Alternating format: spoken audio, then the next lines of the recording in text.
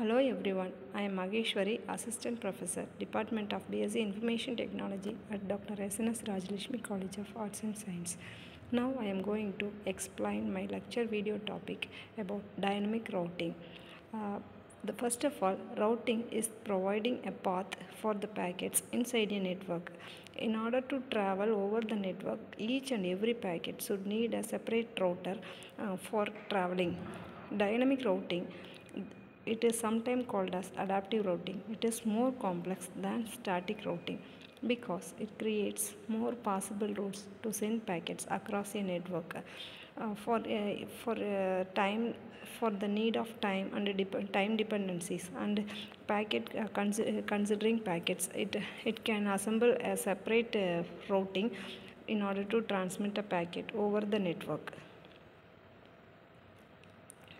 it provides a lot of advantages. The advantages of routing dynamic routing algorithm as follows. Since each and every routing should can follow an algorithm the dynamic routing by implementing dynamic routing algorithm it has a lot of advantages over the network. The first one it is easy to configure over the network. Before implementing algorithm it is easy uh, in order to implement that algorithm inside a network if a link goes down, this technique can choose a better router dynamically. Uh, in sudden, in, if uh, in sudden cases, um, any link may fall. Um, any link may be damaged due to some unconditional uh, reasons, unavoidable reasons.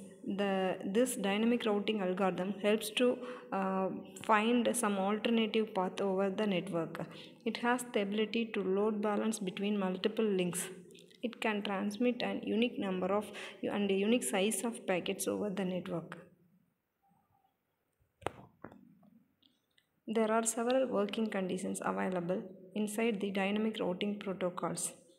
The first one is in dynamic routing, the routing protocol must be installed on every router in internetwork and then starting manually to enter the first hop of the routing table or one or router with routing information and then routing protocol takes over and dynamically builds the routing tables for each router the routers exchange their routing information so that if the network is reconfigured or it goes down the routing tables of each router are modified accordingly hosts on a network need only be configured so that their default gateway address matches the IP address of the local router interface.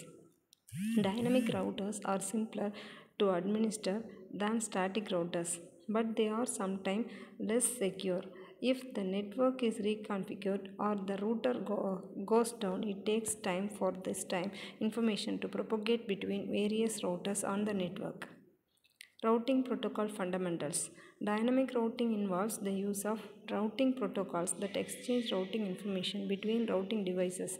The routing protocols perform the following functions it discovers remote networks and best path calculation to the remote networks adapting the routing table since the routing table contains all the entire uh, all the information about the packets and the uh, available routings and busy routings etc recalculating a new best path in case of the failure of the current best path. If we need to um, consider a new path for traveling uh, for redirecting that particular message we need to refer the routing table types of routing protocols the dynamic routing protocols fall into one of two categories interior gateway protocols IGPs and exterior gateway protocols EGPs the interior gateway protocols can be further categorized into distance vector protocols and link state protocols based on their operations. A router using a distance vector protocol uh, routing protocol it is an unaware of network topology. Since uh, we have a lot of network topologies uh, so it doesn't mind about the what kind of network topology we are using suddenly currently. It knows only about its directly connected networks and remote networks. It can reach via its neighbors then second one is link state protocol. It is more complex compared to the previous type. Routers using them are aware of the network topology. So we need to know before we are installing this type of network protocol we have to know the awareness of network topology. Thank you